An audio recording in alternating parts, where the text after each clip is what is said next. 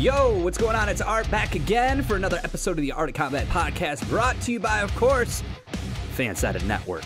On this episode, we are talking to John Makdessi, a UFC lightweight who, although has been sidelined for a little bit due to injury, is probably one of the most motivational people I've ever talked to in my entire life. Let's get to this episode with John Makdessi, UFC lightweight, right here on the Art of Combat podcast, powered by Fansided MMA. What's going on? It's Art from the Art of Combat podcast, Fansided MMA, here with UFC a lightweight John Makdessi. How are you, brother? Doing good. How about yourself? I'm good, man. I gotta say, um, I don't know if anyone's ever told you this, but on like a side note, you have one of the most soothing voices in MMA. Like you could narrate a film about martial arts, and I think it would be perfect. Thank you. I appreciate that. now, and now looking at uh, the the video behind you, you are definitely not in Canada. I'm guessing California, somewhere nice and warm. Uh, no, man, Phoenix, Arizona. Phoenix, Arizona. Okay. All right. Well, I was close. At least it was the West Coast. But uh, I wanted to ask you, um, how has everything been going? Obviously, you dealt with, you know, a couple of setbacks with injuries that looking back at how you handled those throughout the years, I admire your determination to always keep going. You're one of those fighters that it seems nothing sets you back. So I'm assuming your answer is going to be things are going well. But how has dealing with this injury been? Uh, correct me if I'm wrong. It was a leg injury, right? Uh, yes, the hamstring. I torn. I had a full third degree torn uh, hamstring tear. Um, it's actually it's a, it's a pretty bad injury. I, I really did not know the, the you know I did not know how bad it was until you know uh, doing more research about it. You know, it's not a common it's not a common thing.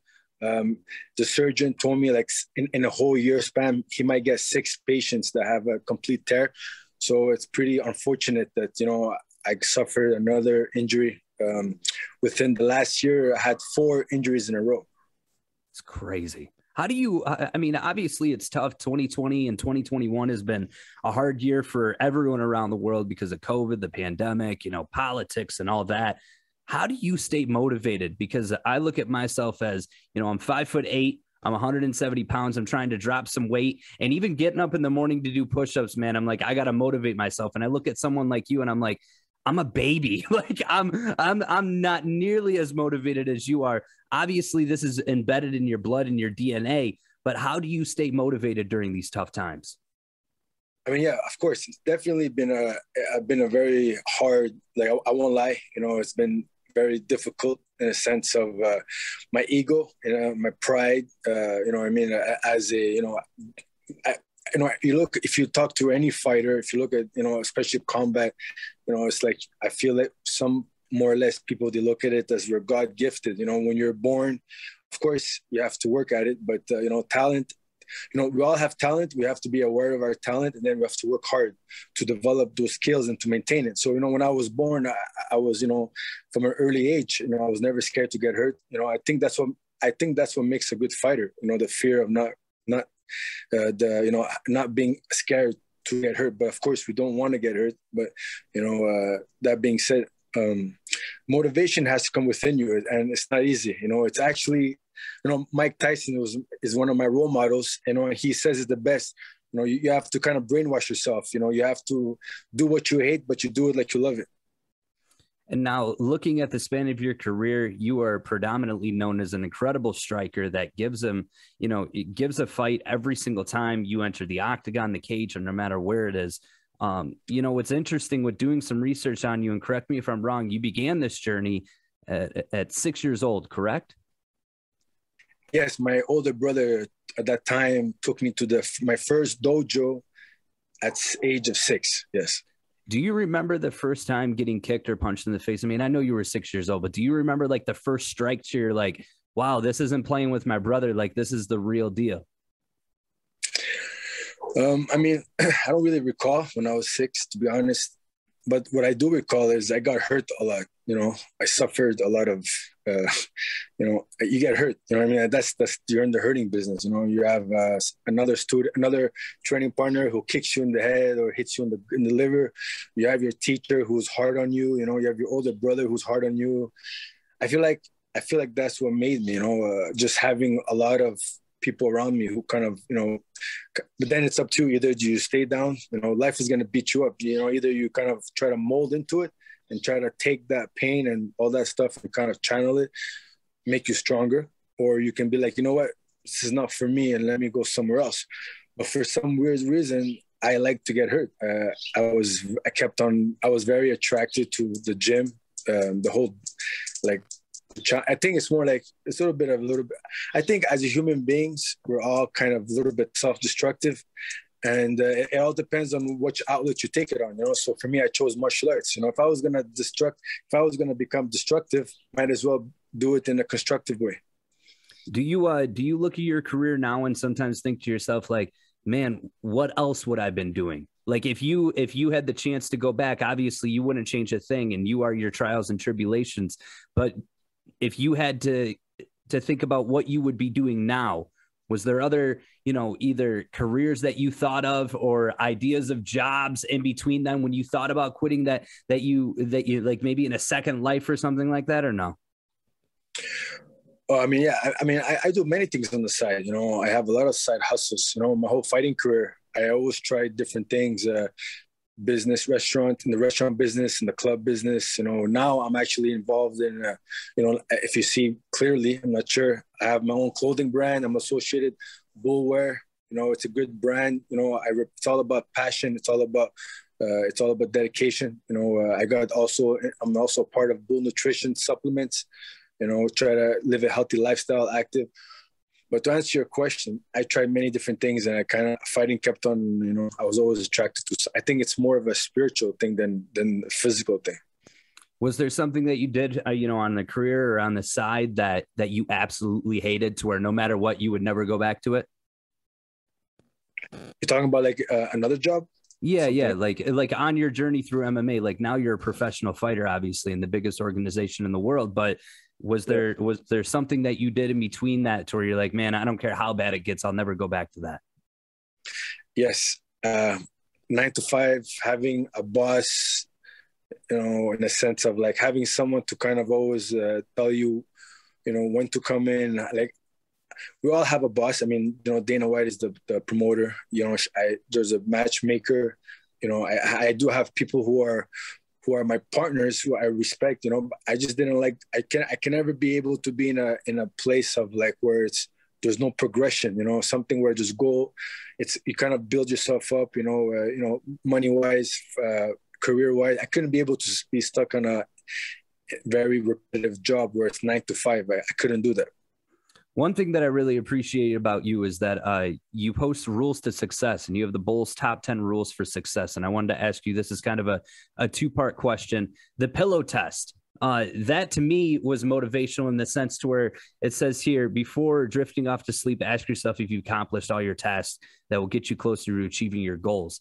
Um, is that something that that has excelled you to where you're at today. At the end of the day every night before you go to bed are you hard on yourself when you think man i didn't achieve this or I, you know didn't get that done and is that what's motivated you to get to you to where you're at today? Yes definitely. Um, i was very fortunate uh, when i was back in living in montreal canada i got associated with a, a sports psychologist named named brian cain. I, I worked with him for many years. He, he was my coach. I got certified I got I got certified under his umbrella called the the the mental mastery performance. You know, so it's all so it's all about like reading books, looking at other successful people, observing, analyzing, learning from other people, and, it's kind of like kind of you have to be hard on yourself, and you uh, and to be successful.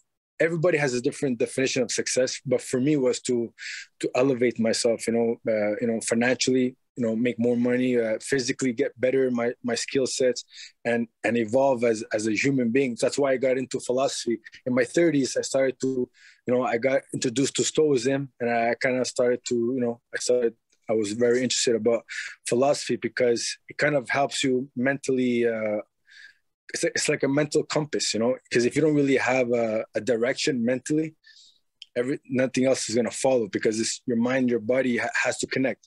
So it's a combination of things you know a lot of a lot of hardship a lot of you know a lot of trial and error a lot of my i did you know i made a lot of mistakes in my life uh, you know, being an athlete and uh, you know, being in the UFC f- from the original owners, you know, I had some good fights.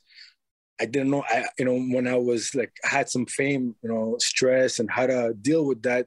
You know, a lot of fighters don't really talk about it, but you know, as a, it's not easy to deal with these these pressures that uh, most athletes kind of get when they reach a certain level.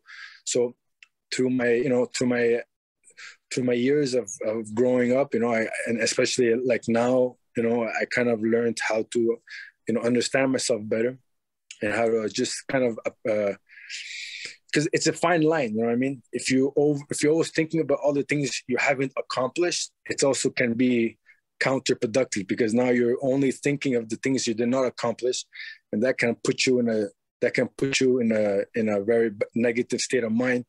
So you have to also be grateful of the things that you did accomplish you know? So it's very tricky because i myself get stuck at you know i always wanted to be a champion. I always wanted to save my family from financial burden. I have many personal goals personal motives that i did not accomplish completely. So that kind of put you in a negative state getting injured you know all these things that i did not expect you know uh, leaving montreal canada because of the covid and the lockdown I had no opportunities there. So I had to come here to Arizona, start a new life, being far away from my family and my friends. So a lot of changes can build anxiety. So there's so many things that most people, you know, everybody, I, everybody goes through, especially now with the COVID and there's always something new going on and the vaccines and not being vaccinated. It's very, it's a lot of stress, you know, so so I the pillow test for me, it's it's you know to hold yourself accountable. Yeah.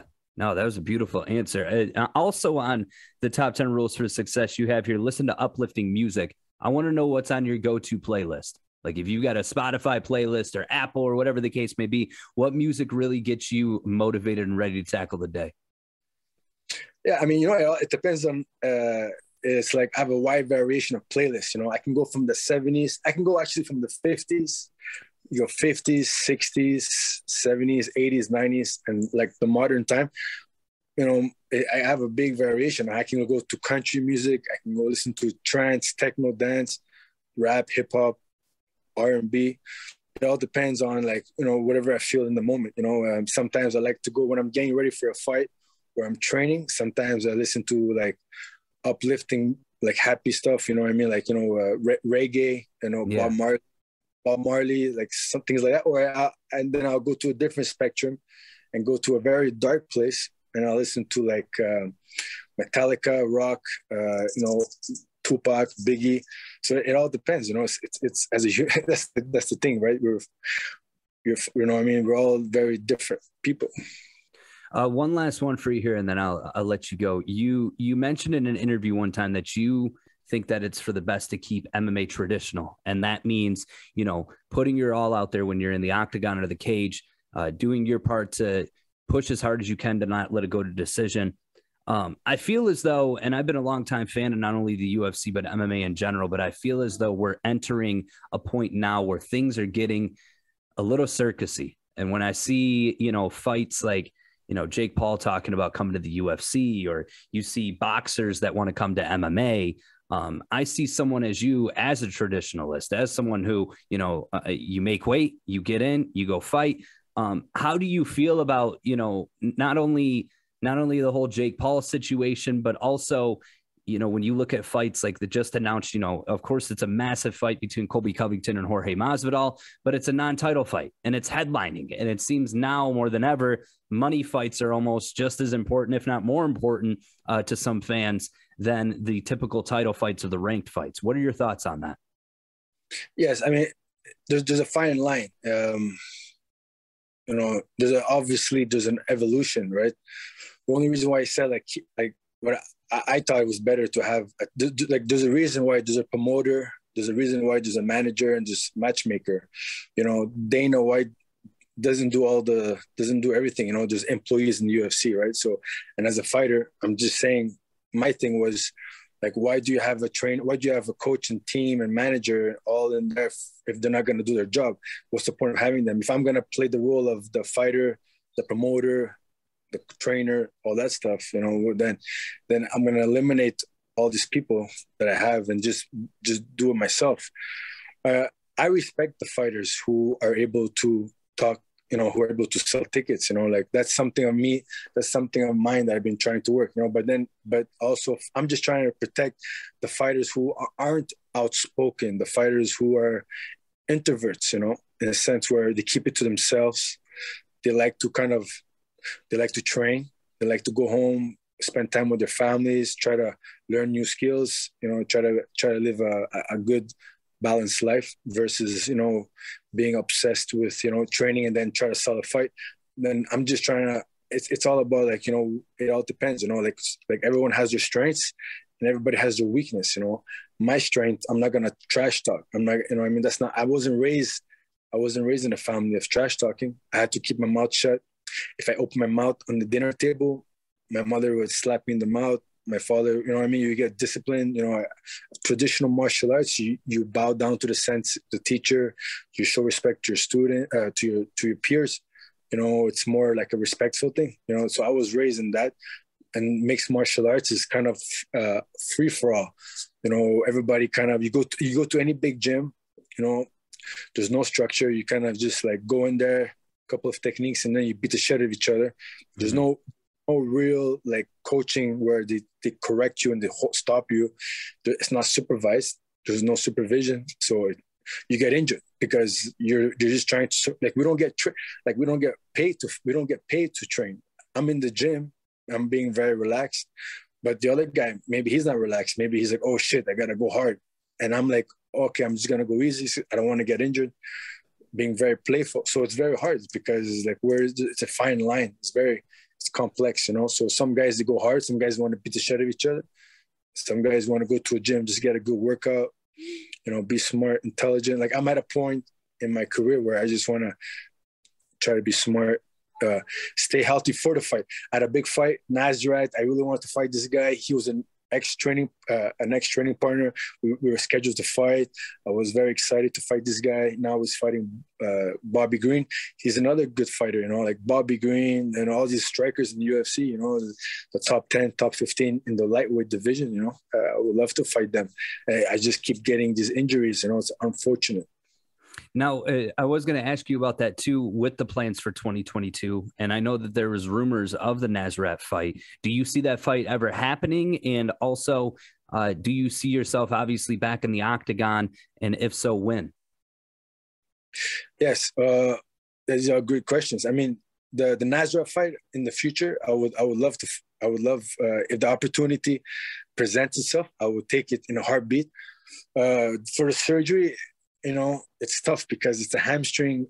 It's it's not easy, you know. It's one of those weird, like awkward positions. They cut me, they kind of slice me, like right up, right right at the bikini line.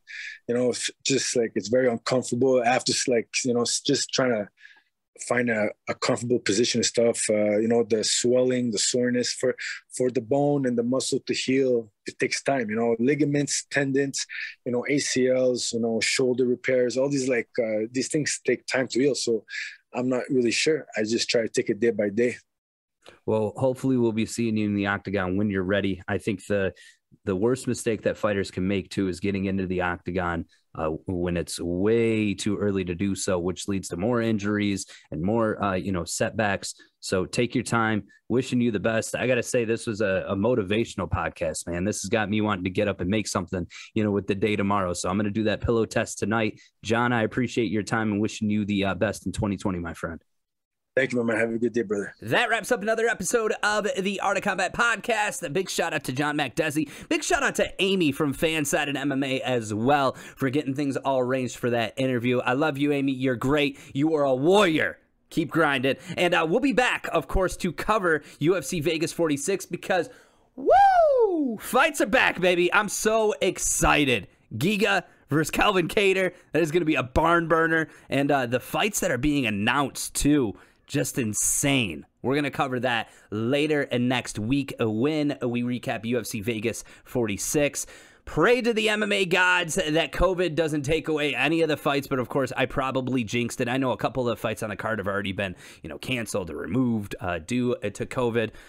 I can't wait to return to quote unquote normal. Hey, if you haven't yet, follow me on Twitter at Art of Combat Pod. Make sure that you click like and subscribe. I always sound like one of those douchey YouTube guys, like like and subscribe my channel and click the bell, but it really does help. And if you get some extra time, leaving a review would be amazing. This is the Art of Combat podcast on the Fansided MMA Network. See ya!